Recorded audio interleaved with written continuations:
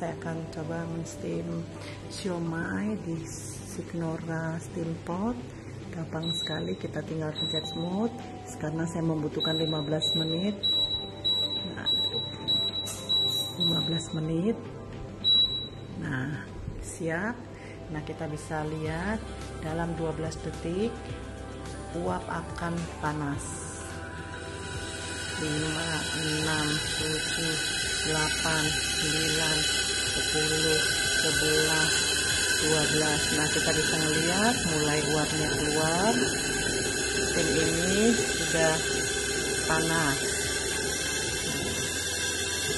Kita tutup ya. Kita tunggu selama 15 menit. Tinggal satu menit lagi. Kita tunggu sebentar lagi. Udah matang. Nah kalau sudah selesai dia akan bunyi tip tip tip dan dia akan kembali ke warm keep warm untuk menghangatkan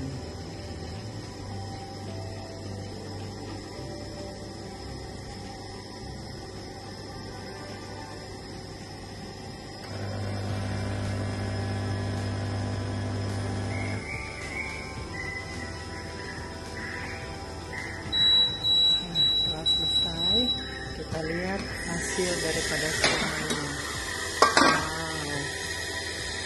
Sudah matang sempurna. Oke. okay.